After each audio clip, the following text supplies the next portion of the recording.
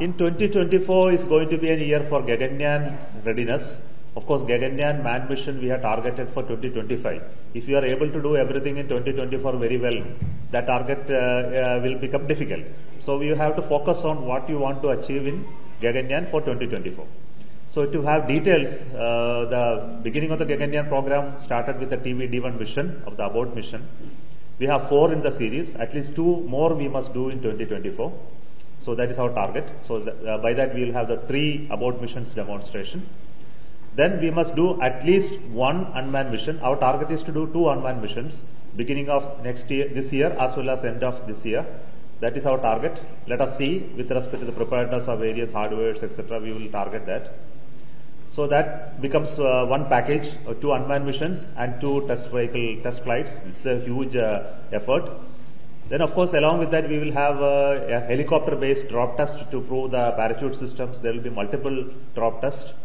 We also will have a pad abort test, which is called uh, the launch pad abort test, and many hundreds of such uh, validation tests, including um, environmental control ally support system related test, the crew module related test, simulation test beds, and hundreds of them, which I cannot even describe. So it's going to be the Gaganyaan year. Along with that, we are going to have launches of GSLV for NISAR. Uh, the, this year itself, we are going to have first flight of GSLV uh, with the INSAT 3DS, which is now going to happen soon. Vehicle is almost ready. And, it, and the second flight of GSLV will carry the, the NASA ISRO synthetic aperture radar satellite. Uh, we, so that means two of the GSLV flights are minimum required. There are some more in, in pipeline, uh, including the Navic second uh, series of NVS 02 also should be launched this year. We have SSLV launch uh, now scheduled. Uh, the second flight of the SSLV, uh, third flight of SSLV, which is to happen now with the satellite, so that is also getting ready. Uh, rocket parts are ready. Satellite is just completing its uh, final phase of integration, so it will take one or two months more. We have also PSLV missions, which are going to be commercial missions. At least two commercial missions for an NSIL is scheduled next year. We also have uh, other remote sensing missions of PSLV. So there will be multiple PSLV emissions. I am not giving you the numbers because the numbers, if you start counting, they will be very large.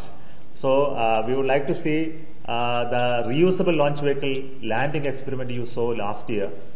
Uh, that landing experiment we have to now demonstrate it with other more severe conditions. So at least two landing experiments more we are planning in 2024 with the different start conditions so as to validate its extremities handling capacity. So this is yet another flight. Huh? Then we have to do a scramjet test demonstration, which is a, we have done one test uh, flight during uh, few years back using hydrogen as a fuel. So with the kerosene as a fuel, we are going to test the scramjet now. So that vehicle is undergoing testing in the ground, and we are uh, going to have the scramjet test in sounding rockets uh, this year. Uh, so I think I have counted uh, very large numbers already.